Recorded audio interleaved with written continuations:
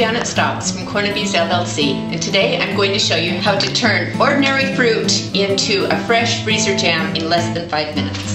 I'm going to use food processor, measuring cup, bowl, and jam in a jiffy. First thing we're going to do is put our prepared fruit into the food processor. Now, the wonderful thing about jam in a jiffy is that you can use any kind of fruit. You can use any kind of soft fruit. For example, this is strawberry mango. Raspberry peach is wonderful. Um, there are several other different kinds that we've enjoyed doing. When you use the food processor, you want to put to turn it on and off so you can get this the desired consistency. Me personally, I like to have chunks left in my fruit. So this is about the consistency that I like. I'm going to turn this into my measuring cup so that I can make sure that I've got about four cups. The longer that your fruit stands in, a in the refrigerator at your grocery store, the more weight that it loses. It loses water weight. So sometimes you'll find that you don't quite have the four pounds you need.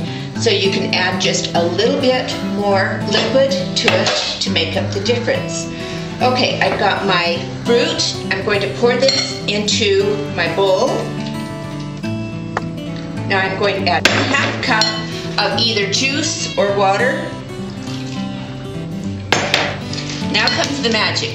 Jam in a Jiffy has everything in it that you need to make the jam except for the fruit. It has the six cups and lids, then it also has the powder. You can buy it that way with the cups, or you can also buy it with two packages of powder if you already have your containers and are, are used to making freezer jams. Okay, I'm going to just stir this up a little bit, stir the water into it. I add the powder the same way that my 83 year old father tells me to. He shakes the top of the container and he makes a hole in the bottom. And that lets the mixture pour out in just the right amount where you can kind of stir it in as you add it. Now this mix has pectin, it has citric acid to control pH, it also has some other natural ingredients that help this to be a very stable product. This means that it has a high freeze-thaw stability so that when it comes out of the freezer, it holds very, very well. This finished product can be stored in the freezer for up to one year or in the refrigerator for up to one month, perhaps longer depending on, on your own conditions. And the reason it can do that is because we have xanthan gum, we have a food starch in it, and um, these help to maintain the stability as well as the citric acid. Now you can see how much this is brightening up that's the magic of the citric acid. Now, the citric acid also means that you don't have to use lemon juice or other products when you are using different kinds of fruit. For example, peaches brown very easily. Got this all mixed up. All I have to do now is set aside the dirty dishes and set out my cups. This mixture needs to stand for just one minute then it is ready to go into the freezer containers and ready to go. We're going to just take our mixture now. I'm just going to use a scoop. You can see it's much thicker now. I'm going to pour it into my containers. Me personally, I really like chunks, so that's why you'll see a lot of chunks.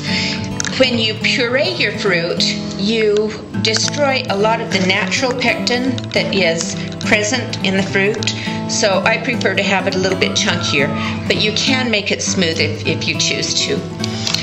This four cups of fruit and one package of jam in a jiffy will make a little over six cups of, of jam. We say it makes six cups of jam plus enough to fix for toast in the morning.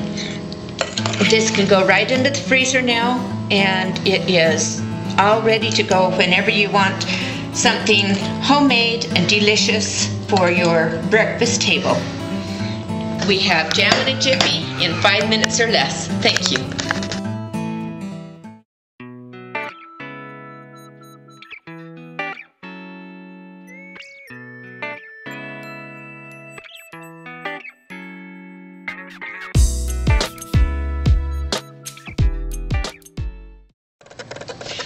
I'm Janet Stocks and I would like to show you today how to make an instant strawberry glaze using Ultragel modified food starch.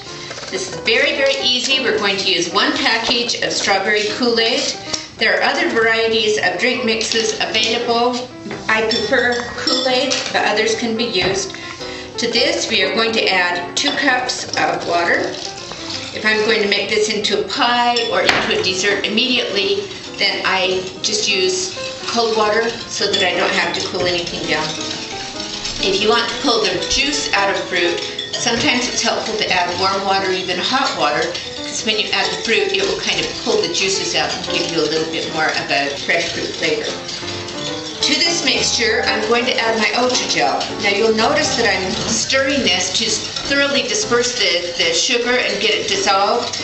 Uh, one of the problems with other instant starches is that you add them to the sugar so the, the sugar is, is not in solution before the starch starts to gelatinize. Now for this amount, I'm going to do this as I would if I were making, say, a strawberry pie.